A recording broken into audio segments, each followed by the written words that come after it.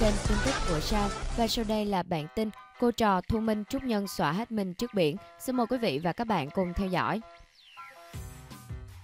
Mới đây trang Facebook cá nhân, Thu Minh đã chia sẻ bức hình ghi lại khoảnh khắc vui chơi hết mình của bà mẹ một con ở bãi biển Côn Đảo với dòng chú thích ngắn gọn, sướng, feeling good.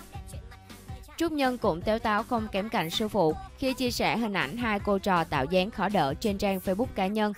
Bức hình độc đáo tới mức Thu Minh đã thách đố cậu học trò rằng Mày dám đăng tấm này lên, chị bao mày ăn kem. Trước lời rủ rê này, giọng ca bốn chữ lắm ngay lập tức công khai hình ảnh.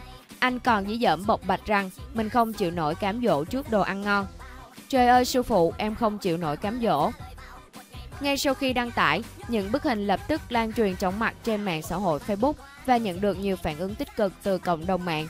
Đa số cư dân mạng tỏ ra vô cùng thích thú Thậm chí có người còn hấm hỉnh trêu đùa Trúc Nhân và Thu Minh là hai thí sinh ngang tài ngang sức của cuộc thi Việt Nam Next Top Điên Rồ. Bước ra từ cuộc thi giọng hát Việt, Trúc Nhân là một trong những học trò vô cùng tài năng của Thu Minh. Tuy nhiên đã từng có một thời gian, nam ca sĩ trẻ khiến dư luận phẫn nộ vì một sự cố vạ miệng. Những lời nói không suy nghĩ kỹ khiến khán giả cho rằng Trúc Nhân đã bày tỏ một thái độ kiêu ngạo, thậm chí vô ơn với người thầy đã từng dìu dắt mình ngay sau đó, Trúc Nhân đã đính chính và xin lỗi nữ ca sĩ Thu Minh vô cùng chân thành trên trang Facebook cá nhân.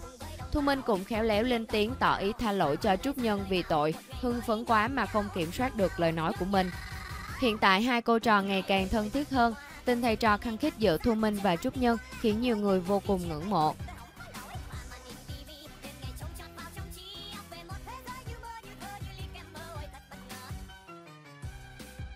Cảm ơn quý vị và các bạn đã quan tâm theo dõi. Hãy bấm đăng ký để cập nhật thêm nhiều thông tin mới hơn. Xin chào và hẹn gặp lại.